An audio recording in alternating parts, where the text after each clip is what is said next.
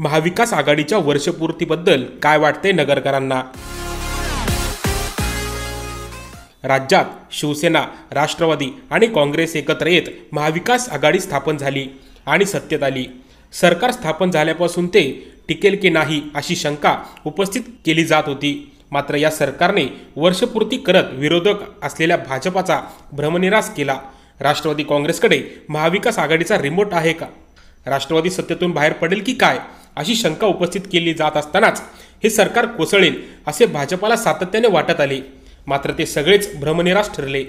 काँग्रेस अस्वस्थ आहे का? शिवसेनेला काय वाटते? या सगळ्या प्रश्नावर महाविकास आघाडी सरकारच्या वर्षपूर्तीबद्दल काय वाटते नगरकरांना? याविषयीचा नगर टाइम्स सारोमतने घेतलेला लेखाजोखा महाविकास आघाडी सरकार न पडायला मोठे कारण हे कोरोना असल्याचे भाजपाचे ज्येष्ठ नेते माजी केंद्रीय मंत्री दिलीप गांधी यांनी म्हटले आहे. ते म्हणाले बाजू असतात एक असं होतं की आम्हाला असं वाटत होतं आणि आतापर्यंतचा मागचे जे काही इतिहास पाहिले तर वेगवेगळ्या ठिकाणी सरकार पडलेले आहेत. आणि त्यामुळे असं वाटत होतं की हे सरकार निश्चितपणे एक वर्षाच्या आत पडेल. परंतु आता हे का पडलं नाही याचं दुसरं कारण महत्वाचं असं आहे की करोनाच्या कालखंडामुळे सगळ्याच लोकांना म्हणजे जे काही कामकाज करायचं आहे ज्यांना भेटायचं आहे करायचं आहे काही विषय करायचे असतात एकमेकांना भेटीगाठी करून राजकारणाची राजनीती ठरवायची असते त्याचं प्लॅनिंग करायचं असतं ते करताच आलं नाही कोणाला.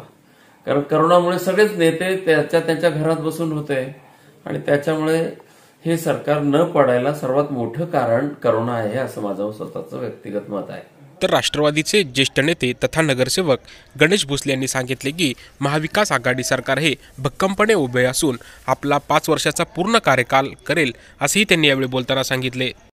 वर्षभर नाही तर पूर्ण पाच वर्षाचा काळ हा पूर्ण करणार आहे. हे विरोधकांना फक्त काहीतरी अस्थिर करायचं त्या निमित्ताने फक्त सारखं सारखं सारखं पडणार जाणार राहणार नाही बसणार नाही.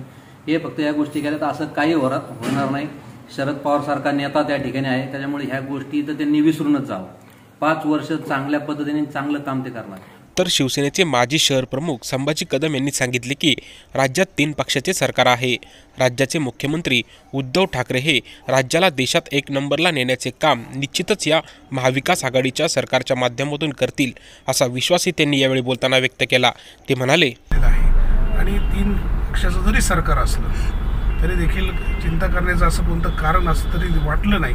आणि निश्चित महाराष्ट्राच्या माध्यमातून एक नंबरला ह्या देशामध्ये हे राज्य नेण्याचं काम उद्धवजी निश्चित करतील. आमच्या वतीने मी नगरकरांच्या वतीने त्यांना लाख लाख शुभेच्छा देतो.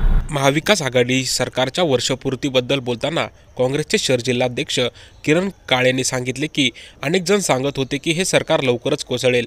मात्र आज या सरकारची वर्षपूर्ती होत आहे. ठाकरे सरकार भक्कमपणे उभे आहे. सरकारमध्ये कोणताही निर्णय घेताना काँग्रेस पक्षाला विचारात व विश्वासात घेतल्याशिवाय एकही निर्णय होत नसल्याचे त्यांनी यावेळी सांगितले.